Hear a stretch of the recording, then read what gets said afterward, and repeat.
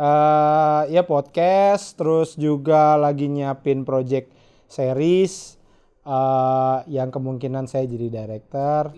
Terus juga eh, ya ada di eh, di beberapa program TV aja lah yang lagi alhamdulillah lagi rutin.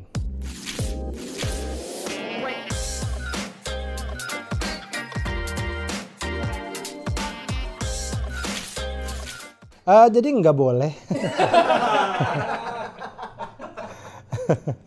Belum, masih jauh soalnya, ntar aja ya. Oke. Ya, nggak apa kan? ya. Nggak apa ya? Nggak apa-apa. Ya, aduh, sedih lagi nih.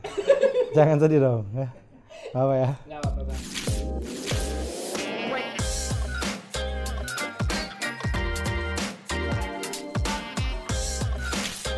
Eh, stand up eh, terakhir itu kayaknya acara pita kuning ya kayaknya ya, berapa sebulan yang lalu ada ya sebulan lebih ya ya ya itu sih. Eh, tapi ini sebenarnya emang mulai lagi mulai ke trigger lagi.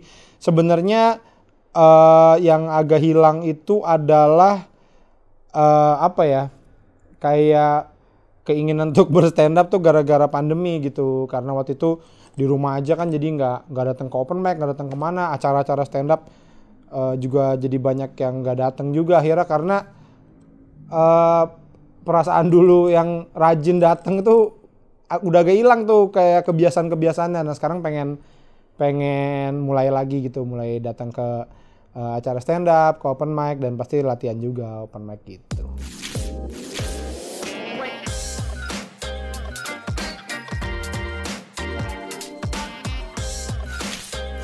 Eh, enggak juga sebenarnya ya. Kalau kalau bu- bukan karena temen sih, tapi emang dulu itu eh, nggak tahu kenapa ya gue kayak eh, mungkin terbawa dari waktu jadi presiden ya.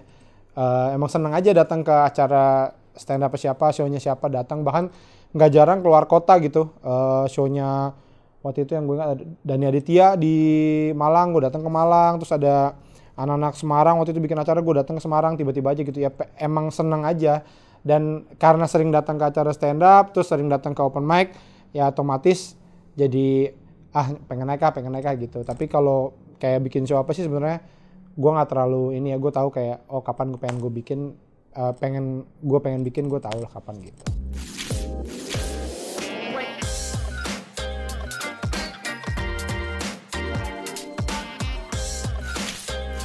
Eh, kalau mengubah iyalah ya eh, pasti iya. Eh, yang paling eh, kerasa adalah eh, teman saudara jadi banyak sekali ya jadi banyak banget karena ya jadi banyak berkunjung ke banyak daerah juga kayak gitu-gitu sih yang paling kerasa sih itu ya.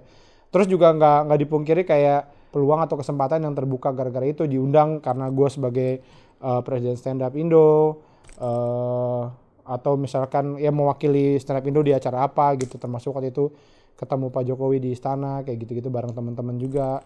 Eh waktu itu sempat makan bareng di istana ngobrol sama Pak Jokowi gitu terus dikenalin sama Om Indro Pak ini eh, presidennya stand up Indo gitu. Terus ya Pak saya presidennya. Bapak kan kemarin kepilih 51 persen ya Pak ya. Saya 73 persen. Dia gini ya ya ya ya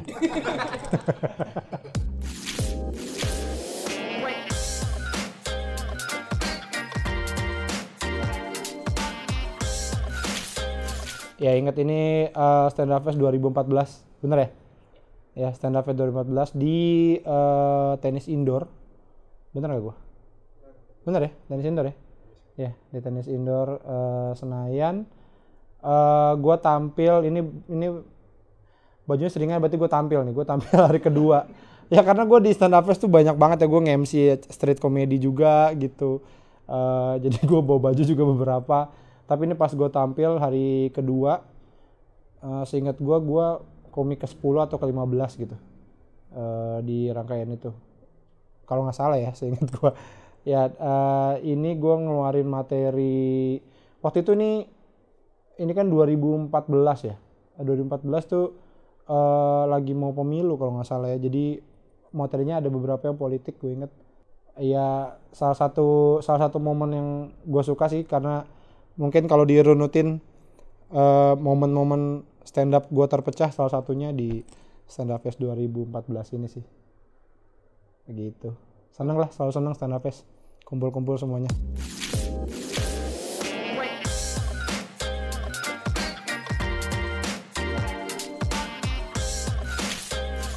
Ya di stand up fest jadi eh, dari 2013 tuh eh, gue jadi ketua panitia sebenarnya Eh, karena waktu itu waktu 2013 2014 presidennya masih Semi Notus Limboy terus Om Sam ngajak gue untuk jadi ketua panitianya. Jadi gue yang yang yang eh, ngajak waktu itu anak-anak Jabodetabek ya komunitas Jabodetabek dan Bandung mungkin Bogor juga kayaknya itu eh, jadi volunteer jadi emang ngatur.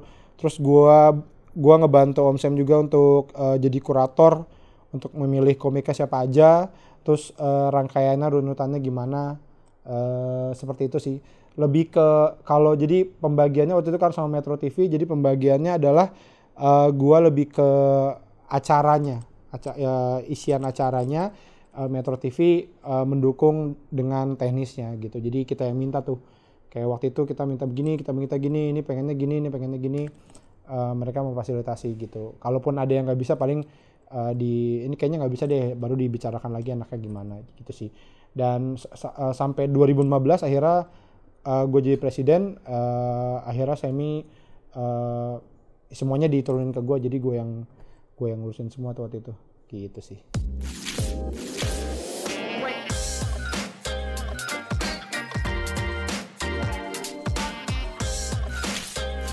Enggak sih, gue ngerasa gua gua ngerasa enggak seperti itu ya malah waktu waktu awal oh ini pemilu nih pemilu eh, presiden stand up gitu ya. eh gue sebenarnya gue ngerasa kayak jangan gue deh gitu. Cuma eh, waktu itu sempat ada obrolan kayak tuh kalau nggak lu yang kepilih ntar yang aneh-aneh lu gitu terus kayak ya deh ya deh gitu daripada yang kepilih karena pada pada saat itu ya bahkan sampai hampir yang terakhir juga ya eh selain Ajis gitu kayak semua tuh banyak yang oh jangan gua jangan gua gitu. Kayak oh jangan gua jangan gua gitu semuanya gitu. Eh, kalau pa- kalau yang dari stand up sih eh, simple kayak kayaknya ya karena gua waktu itu dekat sama Om Sam gua kemana- banyak gue belajar banyak dari Om Sam. Eh, diajak ke mana-mana sama dia gue juga emang eh, secara tidak langsung meminta lah kayak gua kadang-kadang Om Sam bang lo besok ke mana? gitu. Kayak gue ikut dong gitu. Kayak gue pengen nyari pengalaman aja dari uh, dari dia gitu. Uh, akhirnya ya uh, project-project termasuk stand up ini kan uh, ide dia dengan uh, bang Agus Mulyadi ya itu Metro TV dan ya akhirnya gue dilibatkan gitu. Uh, tentunya bersama komik-komik lain sebenarnya. Banyak sekali ya uh, almarhum Digun uh, terus banyak lah anak-anak volunteer tuh anak Jabodetabek.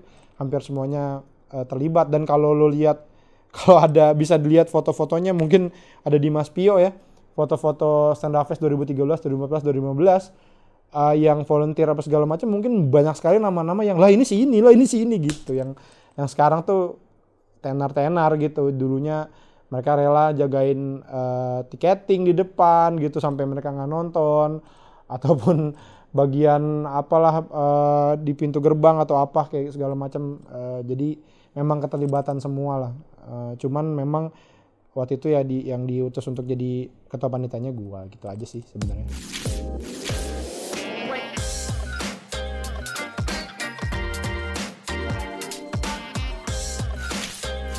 Banyak sih ya banyak banget ya. Gue tuh gue tuh selalu seneng gini loh gue gua pas gue masuk stand up Indo stand up Indo Bekasi terus abis itu ke stand up Indo gue seneng aja gitu ngeliat ngeliat eh, kumpulan orang-orang ini gitu. Kayak menurut gue keren aja gitu eh, semuanya orang-orang kreatif semuanya orang-orang orang-orang lucu gitu ya. Jadi seru dan dan gue nggak tahu kenapa gue seneng banget dan itu yang yang mungkin membuat gue eh, seneng bikin-bikin ikutan terlibat di stand up fest ataupun apa pun itu gitu. Karena ngelihat orang-orang ini kumpul gitu. Dan kalau bilang momen apa eh momen stand up fest tuh salah satunya ya momen stand up fest atau acara-acara besar seperti ini itu selalu seneng ngelihat anak-anak komunitas berkumpul dari seluruh Indonesia gitu. Yang jadi penonton yang yang jadi penampil yang jadi uh, volunteer gitu ya. Eh seneng aja waktu kayak waktu stand up fest ataupun jambore stand up gunung stand up hutan itu biasanya anak-anak komunitas datang pakai baju komunitas mereka masing-masing gitu. Jadi kayak oh ini Bali nih oh ini uh, Palembang nih gitu-gitu. Oh ini Jogja nih kayak. Dan itu seneng banget ternyata gitu. Uh, ada sesuatu yang bisa nyatuin kita. Kayak kalau nggak ada stand up nggak ada stand up Indo kita nggak bakal saling kenal gitu. Bahkan mungkin beberapa ngelihat takut nih serem nih orang nih gitu. Kayak ya kalau ketemu Ari Kriting dulu kayaknya takut gue gitu. Ya kan? Ternyata kan blow on banget orangnya kan. Jadi ya itu momen itu lah momen kumpul-kumpulnya itu. Kayak sem ya setiap acara inilah gue selalu kadang-kadang gue ngeliat di posisi yang agak tinggi gitu entah gue ke tribun atas ataupun di mana gitu terus gue ngeliat uh, anak-anak yang lagi pada kumpul gitu nggak tahu kenapa happy aja ngeliatnya. Bener-bener bener-bener segitu happynya gue seneng seneng kumpul. Selalu deh Ap apalagi sama anak-anak ya uh, bahkan kemarin vaksin aja tuh kita lama kan di rumah aja tuh terus ada vaksin tuh. Vaksin di balai kota kan anak-anak komik bareng tuh. Itu gue seneng banget tuh kumpul. Jadi gue semangat vaksin bukan karena pengen vaksin tapi karena ya ketemu anak-anak gitu. Habis itu makan padahal belum puasa tuh. Makan di GI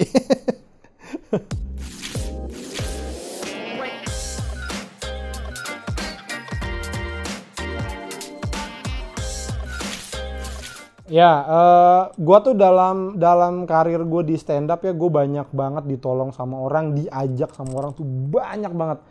Jadi, uh, gue kadang gue sering, sering bilang sama anak-anak kayak, ya gue gue nggak nggak muslim muslim maksudnya nggak nggak taat taat amat gitu ya, bukan yang kayak muslim taat gimana gitu. Jadi, tapi gue percaya kalau silaturahmi itu membuahkan hasil gitu, membuahkan sesuatu karena gara-gara silaturahmi itu gue banyak banget diajak macem-macem deh gitu. Gue pertama kali stand up ke luar negeri, diajak Panji, uh, diajak Mosidik, kayak gitu gitulah. Terus main film pertama kali juga uh, diajak uh, orang juga. Jadi kayak selalu diajak teman-teman gitu, termasuk yang uh, si Warkop di Karibon ini gitu. Jadi uh, ini adalah proyeknya Bang Anggi Umbara sebagai saudara. Uh, uh, ide cerita juga dari dia. Uh, terus dikasih dikasih ke Benedion untuk ditulis sebagai skrip gitu ya. Uh, dan Bene uh, waktu itu ngajak gua untuk bareng-bareng gitu. Yang mana sebenarnya gue lebih terlibat di komedinya gitu di di karena uh, eh, gue sempat bilang Ben di sini ngetik ya gantian gitu. Terus dia nggak mau karena mungkin gue lama kali ngetik jadi dia aja tuh ngetik gue nggak ngapa-ngapain. Gue cuma ngoceh aja waktu itu ngomong doang. Uh, lebih ke cerita lah bantu bantu bikin ceritanya. Dan ya seneng lah karena gua nonton warkop dari kecil ya. Uh, banyak scene-scene warkop yang uh, nempel aja gitu di di kepala tuh banyak banget gitu. Uh, dan gua tuh waktu warkop uh, bikin film ini terus akhirnya jadi film pada saat itu jadi film terlaris uh, sepanjang masa di Indonesia. Uh, baru pecah sama KKN kemarin baru kebalap sama KKN kemarin sebelumnya masih warkop uh, kita waktu itu di uh, Iboma Indonesia Box Office Movie Award. Uh, dapat penghargaan ya karena sebagai film terlaris uh, gua gua Bang Anggi dan uh, Pak Indro itu maju ke atas panggung. Dan di panggung gue sempet ngobrol sama Pak Indro gue bilang uh, tau nggak Pak De? Uh, gue tuh selalu nyeri sama yang ikutan suci gitu. Karena yang karena anak-anak yang ikutan suci masuk ke babak uh, finalnya, babak berapa besar itu, mereka pasti dikenal sama Om Indro.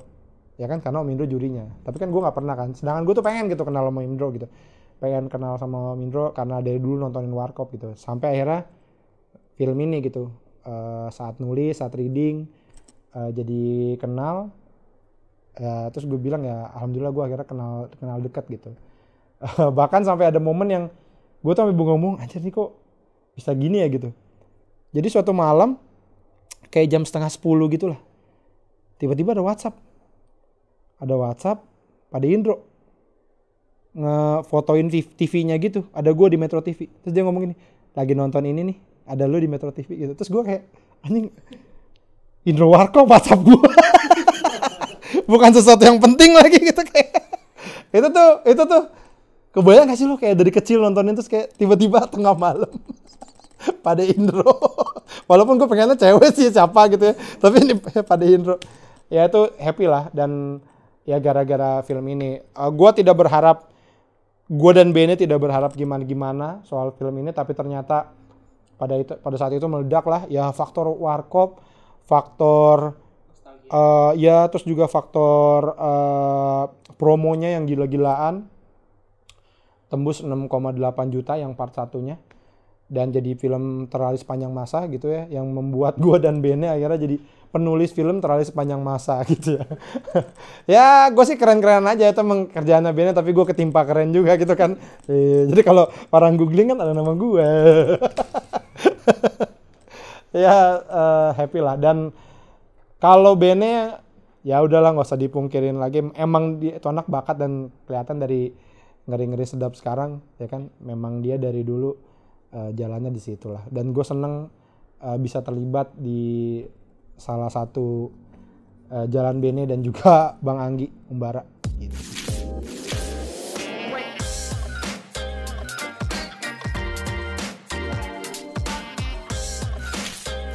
sangat iya menurut gue ya. Itulah bedanya ya uh, karena kita dari awal tuh bentuknya adalah komunitas hampir dari kita semua itu adalah bukan siapa-siapa awalnya. Menurut gue even Ernest ya, Ernest uh, dulu apa kerja di label gitu ya, maksudnya bukan bukan sosok yang terkenal terkenal amat lah gitu. Ernest. Uh, paling Radit, ya kan, Panji, sisanya ya Soleh mungkin, sisanya kayak dari nobody gitu. Jadi mungkin itu perasaan itu yang membuat kita tuh ngerasa sama gitu. Semuanya kita tuh dari dari titik yang sama. Jadi uh, akhirnya saling bantu membantu gitu. Dan sebenarnya yang menarik adalah si stand up Indo ini bantuan itu kadang tidak secara langsung gitu. Jadi dan semuanya tuh mau mau apa ya punya punya punya cara masing-masing untuk ngebantu. Ada yang memang secara langsung misalkan kayak oh ini sini gue ajak kerja gitu. Oh sini gue ajak syuting gitu. Ada juga yang sebenarnya tanpa kita sadari dia tuh membantu dengan narik gerbong misalnya. Ya ya kalau di awal ya Ernest bikin tur pertama itu kan narik gerbong sebenarnya ya kan? Panji bikin special show pertama kali itu kan narik gerbong. Mungkin sebelumnya tidak ada yang kepikiran untuk bikin special show ya kan? Sampai uh, Panji bikin. Mungkin sebelumnya tidak ada yang kepikiran bikin tour sampai Ernest bikin. Itu kan itu kan narik gerbong gitu sesuatu yang akhirnya anak-anak bisa impikan gitu. Terus mungkin pada saat itu masih ada yang oh ya itu kan Panji itu kan Ernest. Kemudian ada siapa bikin show siapa termasuk uh, gue anak-anak Bekasi, gue bintang Ajis uh, Arya bikin uh, Pride Bekasi terus kami tour. Anak cuman anak-anak komunitas yang bukan siapa-siapa. Dan mungkin itu juga gue nggak tahu ya tapi mungkin jadi anak-anak lain mungkin ada yang wah ini Awe Ajis bintang Arya aja bisa nih berarti kita juga bisa nih. Jadi dan itu dan itu dilakukan dilakukan terus gitu sampai sampai ke sekarang ini gitu. Sampai ke sekarang ini dan dan itu menurut gue uh, jadi apa ya jadi memang saling menginfluence gitu sih. Jadi pengaruhnya gede besar sekali. Termasuk mungkin sekarang Panji ke luar negeri uh, mungkin uh, kayak mau sidik dia stand up dengan bahasa Inggris apa segala macam. Gue lihat ada udah udah mulai banyak anak-anak yang mencoba oh gue mau buka uh, karir dengan stand up bahasa Inggris apa segala macam gitu ya. Uh, penulis ya kan? Ya director juga pasti gitu. Uh, Ernest jadi director ya oke. Okay. terus mungkin orang lihat tapi kita itu kan Ernest. Sekarang ada Benny. Oh Benny aja bisa jadi uh, director. Nah, kita nggak tahu abis ini siapa abis ini siapa. Dan itu itu semuanya berpengaruh menurut gua. Jadi nggak nggak nggak melulu yang ngasih kerjaan nggak ya sebenarnya nggak melulu yang seperti itu. Gitu sih. E, ngebuka jalan juga. Kayak misalkan penulis deh. Oh Ernest nih jadi penulis film, ya kan? Gara-gara Ernest jadi penulis film, PH-PH jadi banyak yang kebuka. Oh stand up comedian bisa jadi penulis ternyata. Mereka mulai nyari lagi. Mereka mulai nyari mungkin yang oh Ernest yang harganya mungkin gak se Ernest akhirnya turun ke bawah. Jadi sekarang banyak juga nih anak-anak stand up comedian yang jadi penulisnya itu menurut gue adalah bagian dari narik gerbong yang tadi itu gitu. Termasuk bikin-bikin acara juga gitu sih. Uh, mungkin gara-gara stand up jadi ada acara apa, acara apa, acara apa yang terinspirasi gitu, yang yang uh, mungkin uh, si sponsor-sponsor atau io-io jadi kepikiran untuk bikin gitu sih.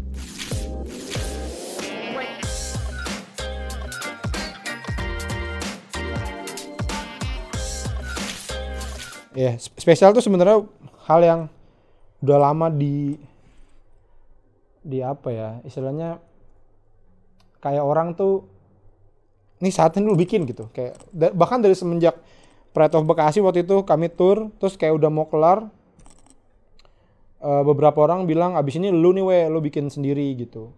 Cuman nggak tahu kenapa ya gua juga waktu itu kayak ah, antar aja lah antar aja lah gitu. Ya mungkin atau lah. Bahkan bahkan namanya udah ada tapi show-nya belum ada ada gitu uh, tangan kosong ya kayaknya semua udah banyak yang tahu atau show gue tangan kosong tapi sampai sekarang nggak tahu. Bahkan beberapa orang si Wawan gitu bercandain dia mah soalnya bukan tangan kosong omong kosong soalnya omong kosong gitu.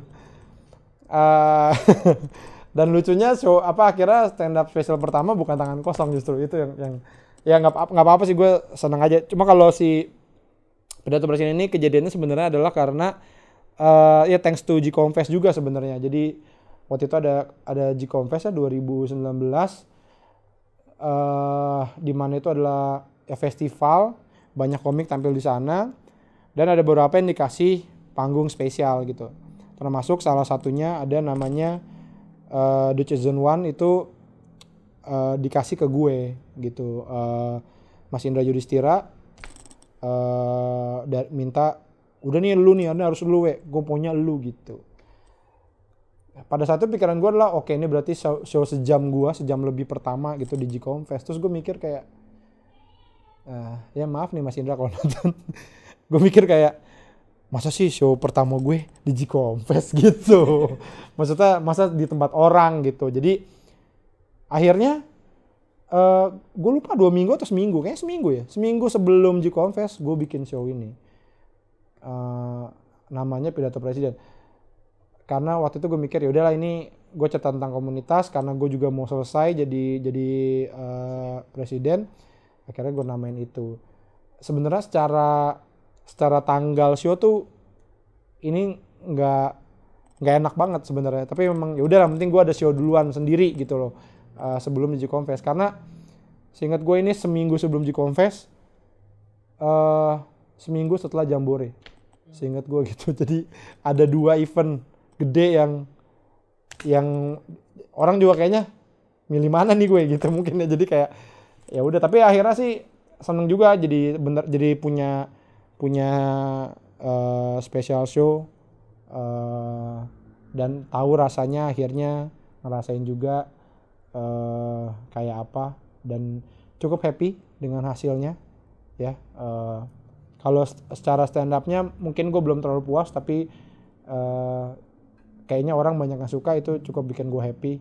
Uh, sampai sekarang juga di jalan Dota masih masih jalan terus alhamdulillah.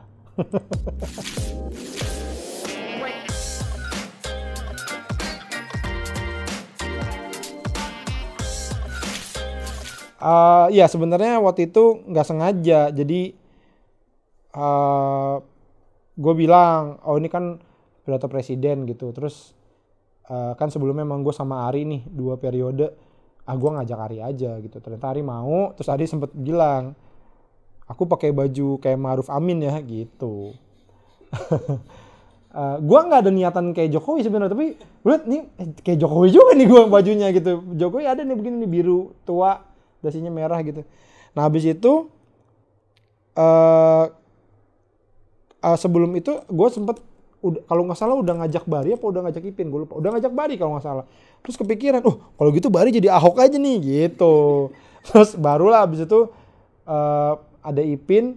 Dan kebetulan sekali Ipin tuh punya punya impersonate Prabowo materi impersonate Prabowo. Jadilah akhirnya ya udah si Bari jadi Ahok si Ipin jadi Prabowo gitu. Gue jadi Jokowi dan Baru Amin gitu. Jadi kebetulan aja. Tapi akhirnya uh, bersyukurnya konsepnya jadi inline gitu. Jadi kayak pidato presiden tuh sama tuh sampai panggung-panggungnya. Gue kalau ngelihat Luka tuh hanya ini kayak panggung PBB gitu tuh kayak kayak lagi konferensi apa gitu.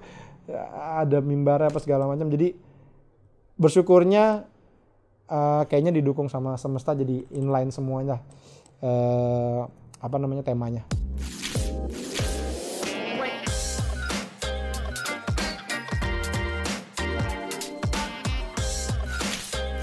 Wah banyak, banyak banget ya. Uh, mungkin yang paling menurut gue paling wah keren apa gila sih ini gitu adalah gimana akhirnya hampir semua anak stand up Indo gitu ya yang konsisten gitu nemuin jalannya masing-masing di berbagai macam hal di berbagai macam hal sampai hal-hal yang tidak terpikirkan oleh kita sebelumnya gitu mungkin kalau nge-host, main film, uh, uh, ya penulis mungkin masih kepikiran, director juga mungkin masih kepikiran. Uh, tapi bahkan ada yang punya job nyanyi. Ya Arif Alfiansah sempat tour sama Anji itu kan kayak gila juga ya gitu dan uh, ya macam-macam lah sekarang kalau lu ngeliat buka internet gitu nggak susah nemuin anak stand up lo scroll scroll scroll anak stand up scroll scroll scroll anak stand up gitu. Semua anak-anak kayak punya jadi punya porsinya masing-masing gitu. Uh, di TikTok di Instagram. Uh, kayak kita tuh banyak bikin apa banyak yang viral dengan hal-hal dengan dengan hal-hal yang aneh-aneh gitu yang nggak nggak masuk akal gitu nggak kepikiran. Tiba-tiba oh viral nih Yudakan foto ala Sophia Lacuba. Iya, yeah, terus tiba-tiba anak Bekasi Ido masuk berita di mana-mana gara-gara selamat malam Laura Basuki. Coba bayangin cuman ngomong selamat tiba-tiba masuk anak stand up nih. Ini anak stand up. Oza dengan jaksel-jakselnya stand up lagi. Jadi ya kayak ya udah udah di mana-mana gitu. Dan menurut gua uh, ya ini buah sih sebenarnya sebenarnya mungkin kita nggak harusnya harusnya nggak kaget juga gitu. Karena memang ini buah yang kita tanam gitu dengan dengan segitu banyak uh, orang segitu banyak kreativitas uh, ya emang tinggal nunggu waktu aja sebenarnya sampai tanda kutip menguasai industri lah gitu ya. Sekarang di mana mana ada ada anak stand up gitu. Uh, itu sih yang paling bikin kagum sih itu ya. Gimana kita bisa mulai menjelajah ke mana-mana lah.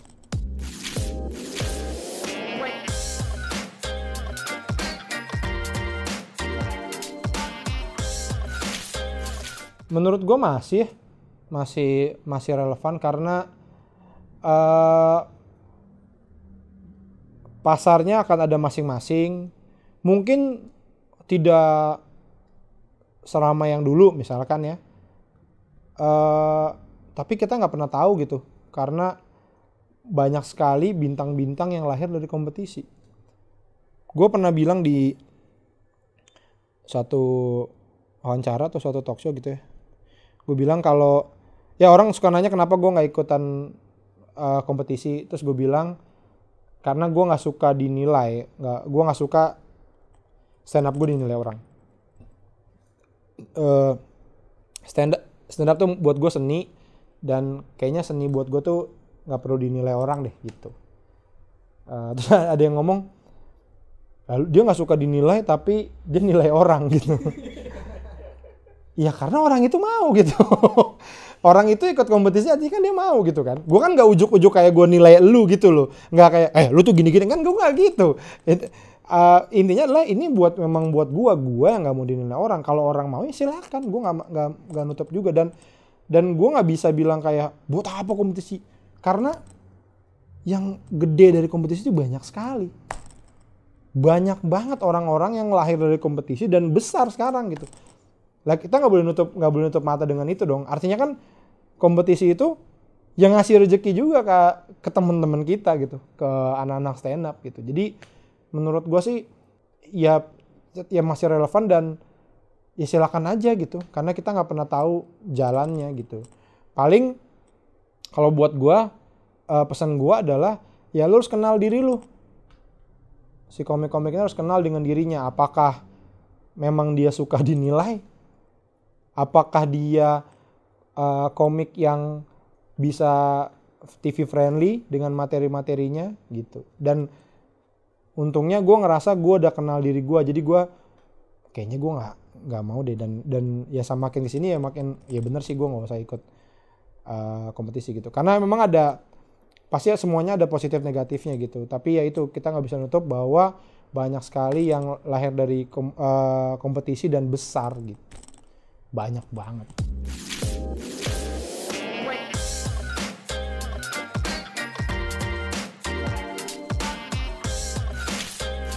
Uh, banyak sih, banyak sekali ya. Dan uh, gue tahu orang-orang ini bukan nggak mau stand up tapi memang mungkin waktunya aja uh, karena pasti butuh persiapan gitu-gitu kan segala macam. Banyak kayak nama-nama kayak senior gue lah Muhat Muhat Muhat Liaco, uh, Bang Arif Didu, uh, ya itu salah dua yang yang pengen banget gue tonton sih. Karena uh, lucu banget dan jadi inspirasi gue dulunya gitu. Gue ngelihat mereka banget sih.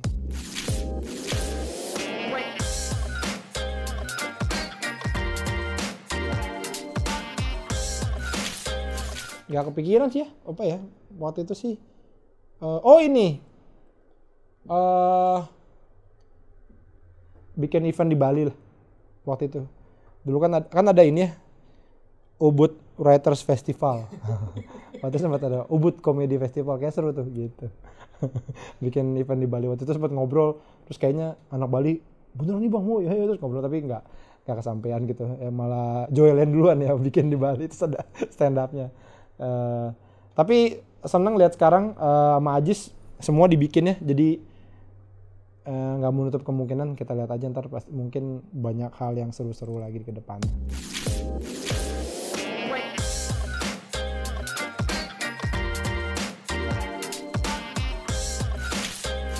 Yang mau gabung stand up tapi masih ragu. Pesan gue nggak usah ya. Kalau ragu ngapain? Beneran karena memang ini ini bukan suatu yang butuh keraguan gitu. Dan nggak akan ada orang yang meyakinkan lu kayaknya gitu. Siapa lu perlu diyakinkan gitu. Uh, jadi ya kalau ragu mendingan gak usah. Uh, tapi kalau yang emang seneng banget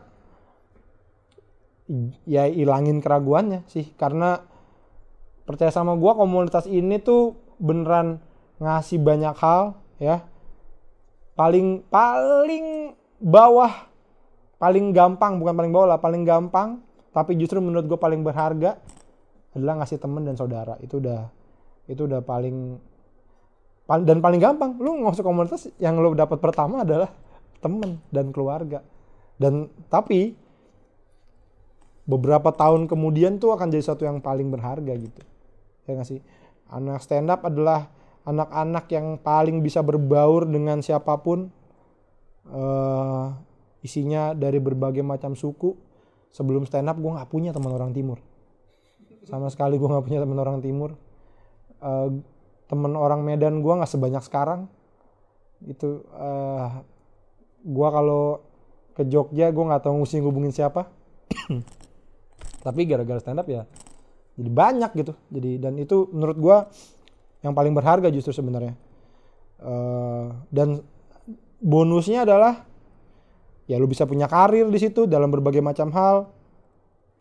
Lo bisa punya uh, penghasilan mungkin lo bahkan mungkin bisa punya ketenaran ya itu udah bonus ya menurut gue tapi uh, yang paling justru paling gampang dan paling berharga itu ya pertemanannya itu sih.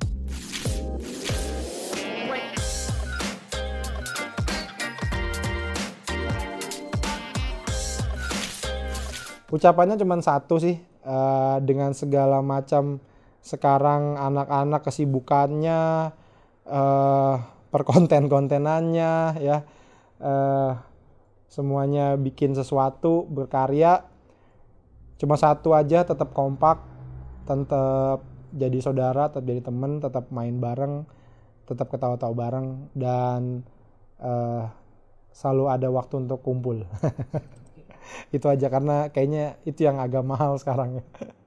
Jadi selamat ulang tahun stand up Indo.